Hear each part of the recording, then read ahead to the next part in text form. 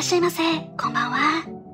今回はまず、アウトドアで使えるホットバタードラムの素の作り方をお教えしますね。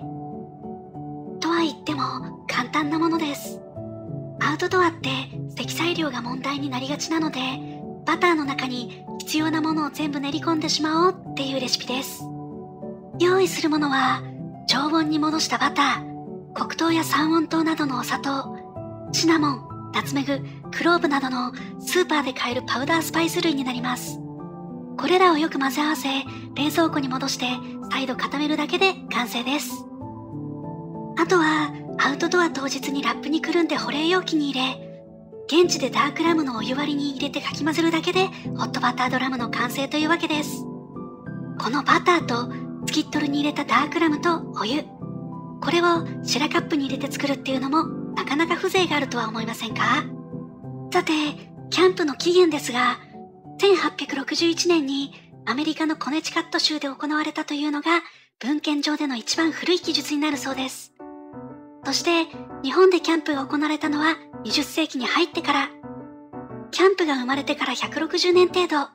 日本に入ってからはまだ100年ちょっとしか歴史がないって考えると、ちょっと意外な感じがしますよね。次に、キャンプの語源についてですが、これはラテン語で広場という意味のカンプスから来ているそうです。ピンとくる方もいらっしゃるかと思いますが、これは大学の校内を指すキャンパスとしても使われている言葉です。語源をたどると一緒の言葉になるなんて、ちょっと面白いですよね。はい、どうぞ。お湯ではなく、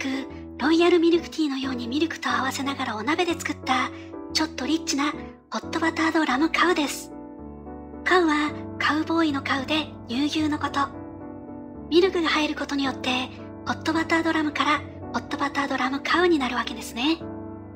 リッチといえば、最近流行りのグランピングはご存知ですか？華やかなという意味のグラマラスとキャンピングを合わせたもので、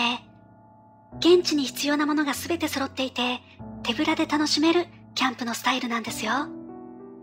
普通のキャンプよりかはお金がかかりますが、一度キャンプを体験してみたいという方におすすめです。それでは今晩はこの辺で、ありがとうございました。